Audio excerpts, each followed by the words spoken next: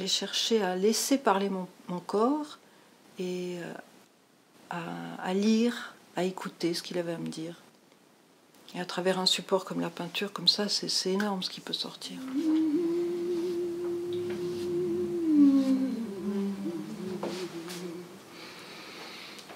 Je te demande de faire une forme. Une forme qui est là dans ton corps, qui te parle. C'est ton corps qui parle.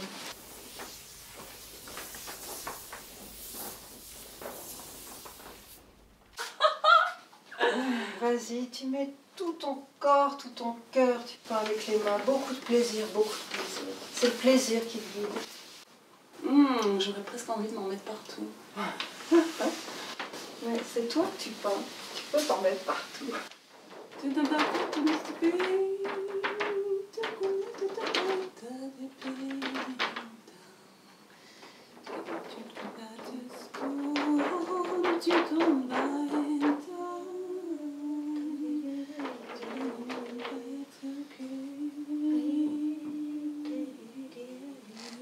Une improvisation, c'est un mouvement jaillissant pour vivre juste l'essentiel.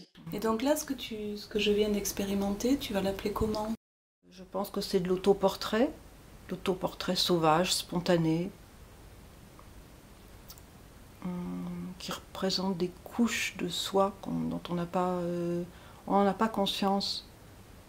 Et ça nous fait bouger aussi, parce que ah ça nous parle et ça nous fait bouger, oui, tu vois, tu l'as senti. Ah Hum. Quand je suis capable d'être présente à quelque chose, à la réalisation de l'autre, je suis comme un socle.